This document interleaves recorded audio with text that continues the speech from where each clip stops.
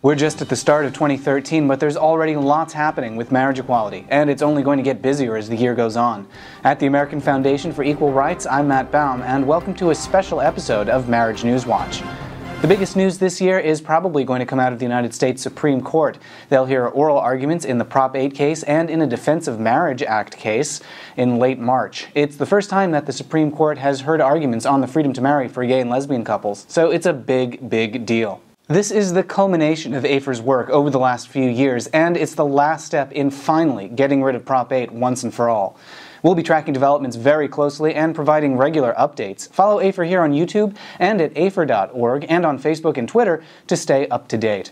While that's going on at the national level, we're going to see major progress in the states.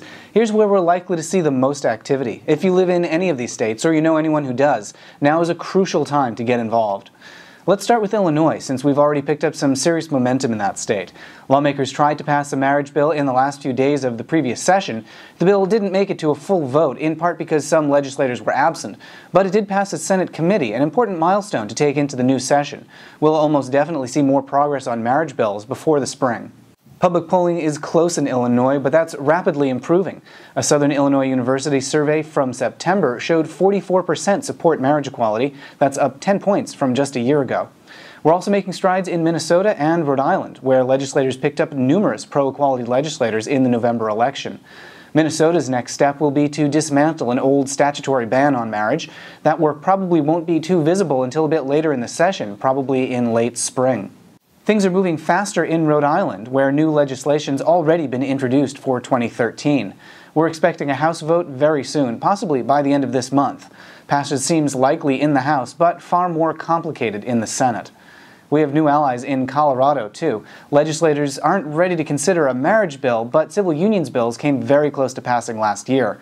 A lawmaker who blocked civil unions in 2012 lost his bid for re-election. He's been replaced as House Speaker by openly gay Representative Mark Ferrandino. So the chances are very good for civil unions passing in Colorado by this summer. Polling's quite strong in Colorado. Last year, a public policy polling survey showed 62% of voters supported the civil unions bill, with just 32% opposed. Then there's Delaware, where civil unions began one year ago. Delaware Governor Jack Markell is strongly in favor of legalizing marriage equality. House Speaker Pete Schwarzkopf has also said that a marriage bill is likely to face a legislative vote in the coming months and that he supports it. Delaware polling is close. The last survey was in February of 2011 and showed marriage equality ahead by just the slimmest of margins 48% to 47%. But national public polling has moved dramatically since that survey was taken, so Delaware opinion is likely to have shifted as well. In New Jersey, the legislature will be working to override Governor Chris Christie's veto of a marriage bill. Organizers have expressed confidence that the support is there, and that's all, all that's needed is some intense lobbying to shore up the votes. But other organizers are hedging their bets and have started the process of bringing the issue to voters. Assemblymember Reed Gusciora, who engineered last year's marriage equality bill in the legislature, wants to put marriage equality on the ballot. Now, marriage equality in the state is in something of a race. Which strategy will reach its goal first, the legislative approach or the popular electoral approach? And of course, if neither is successful, there's also a pending lawsuit. Lambda Legal has sued state officials, arguing that the Equal Protection Clause of the U.S. Constitution requires marriage equality for all. Meanwhile, Indiana's legislature may vote this year on a constitutional amendment to ban marriage equality.